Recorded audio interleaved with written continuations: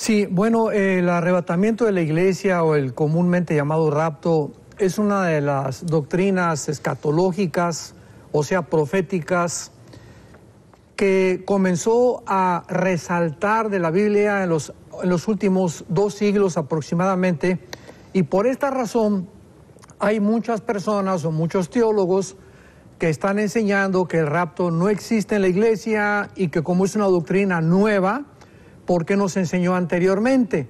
Sin embargo, tenemos que recordar algo muy importante.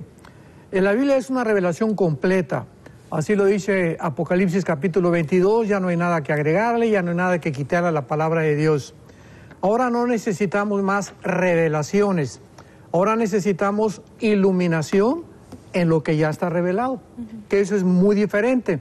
Entonces tengamos cuidado cuando alguien llegue y nos dice, pues tengo una nueva revelación.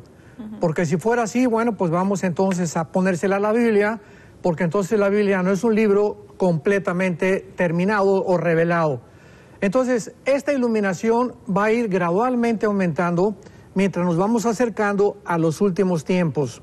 Por ejemplo, en el libro de Daniel capítulo 12 dice el versículo 10, muchos serán limpios, está hablando de esta generación posible que estamos viviendo, serán limpios, emblanquecidos, purificados, los impíos procederán impíamente y ninguno de los impíos entenderá, pero los entendidos comprenderán. O sea, mientras más nos acercamos a, la culminación histórica del programa profético de Dios, vamos a recibir más luz. Es la promesa que tenemos en el Espíritu Santo.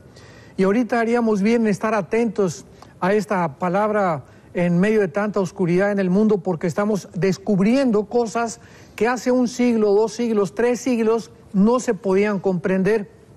¿Por qué? Porque, repito, la revelación de Dios es gradual.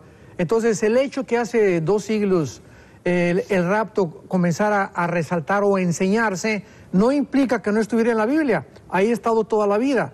Simplemente que le fue revelado al apóstol Pablo para que nosotros, los que estamos viviendo en esta última generación, podamos comprender claramente ahora que estamos esperando este momento profético maravilloso, esta esperanza de la manifestación gloriosa y la esperanza de Jesucristo.